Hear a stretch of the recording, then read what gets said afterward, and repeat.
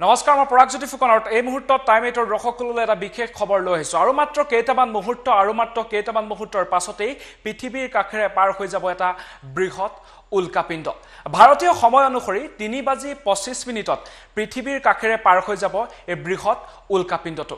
আৰু ইয়াকে লৈ বিগত কিছুদিন বিগত দিনসমূহত বিশেষ চৰ্চা দেখিবলৈ পোৱা গৈছিল। সঁচাকৈয়ে ধ্বংস হ'ব নেকি পৃথিৱী? আৰু এই সন্দৰ্ভত ইতিমধ্যে নাছাইও প্ৰকাশ কৰিছে বিশেষ তথ্য। নাছাৰ তথ্য অনুসৰি বিশেষ চিন্তাৰ কোনো কাৰণ নাই। আমি জনাইছো আজি পৃথিৱীৰ কাষেৰে পাৰ হৈ যাব বৃহৎ উল্কাপিণ্ড। আৰু এক দশমিক দুই ব্যাখ্যাৰ্ধৰ এই বৃহৎ উল্কাপিণ্ড। চন্দ্ৰৰ পৰা তিনি দশমিক ন মিলিয়ন মাইল আঁতৰৰ পৰা পাৰ হ'ব এই উল্কাপিণ্ড। আৰু ভাৰতীয় সময় অনুসৰি তিনি বাজি পঁচিছ মিনিটত পৃথিৱীৰ কাষেৰে পাৰ হ'ব এই বৃহৎ উল্কাপিণ্ডটো। আৰু ঘণ্টাত উল্কাপিণ্ডটোৰ গতিবেগ হ'ব একত্ৰিছ হাজাৰ তিনিশ ঊনৈছ কিলোমিটাৰ। অৰ্থাৎ প্ৰতি ছেকেণ্ডত চাৰি দশমিক সাত দুই কিলোমিটাৰ। আৰু বৈজ্ঞানিকসকলে এই উল্কাপিণ্ডৰ নাম ৰাখিছে nineteen ninety eight O' R two.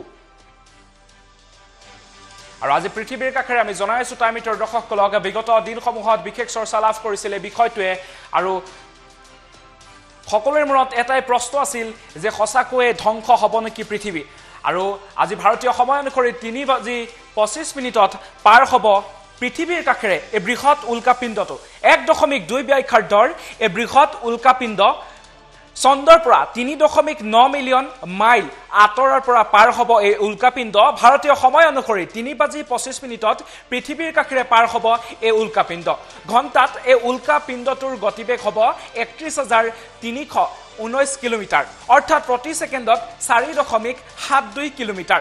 বৈজ্ঞানিকসকলে এই উল্কাপিণ্ডটোৰ নাম ৰাখিছে nineteen ninety eight O' R two আমি জনাইছো বৈজ্ঞানিকসকলে এই বৃহৎ উল্কাপিণ্ডটোৰ নাম ৰাখিছে one nine nine eight O' R two আৰু সকলোৰে মনত এটা প্ৰশ্নৰ উদয় হৈছিল উল্কা সঁচাকৈয়ে ধ্বংস হ'ব নেকি পৃথিৱী? কিন্তু ইতিমধ্যে নাছাৰ তৰফৰ পৰা বিশেষ তথ্য প্ৰকাশ কৰা হৈছে আহিব উল্কাপিণ্ড ধ্বংস নহয় পৃথিৱী। আৰু যিহেতু মাত্ৰ কেইটামান মুহূৰ্ত বাকী আছে আৰু দিনৰ তিনি বাজি পঁচিছ মিনিটত পৃথিৱীৰ কাষেৰে পাৰ হৈ যাব এই বৃহৎ উল্কাপিণ্ড। এই উল্কাপিণ্ডটোৰ নাম ৰখা হৈছে one nine nine eight O' R two. আৰু ঊনৈছশ আঠানব্বৈ চনত নাছাৰ ৰাডাৰত প্ৰথমবাৰৰ বাবে ধৰা পৰিছিল এই নাছাৰ ৰাডাৰত ধৰা পৰিছিল এই উল্কাপিণ্ডটো। আৰু তিনি দশমিক ন মাইল এই বৃহৎ উল্কাপিণ্ড। কিন্তু নাছাৰ ফালৰ পৰা কোৱা হৈছে চিন্তাৰ কোনো কাৰণ নাই। পৃথিৱীৰ পৰা তিনি দশমিক ন মিলিয়ন মাইল দূৰত্বৰে পাৰ হৈ যাব one nine nine eight O' R two. আৰু এই উল্কাপিণ্ডটোৰ ওপৰত প্ৰতি মুহূৰ্ততে নজৰ ৰাখিছে নাছাই।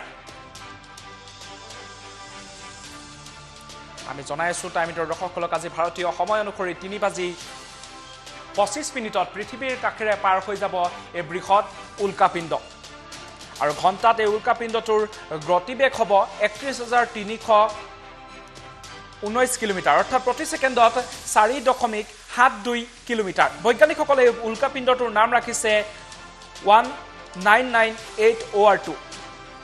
আৰু এক দশমিক দুই ব্যাখ্যাৰ্ধৰ এই বৃহৎ উল্কাপিণ্ড চন্দ্ৰৰ পৰা তিনি দশমিক ন মিলিয়ন মাইল আঁতৰৰ পৰা পাৰ হ'ব এই উল্কাপিণ্ড।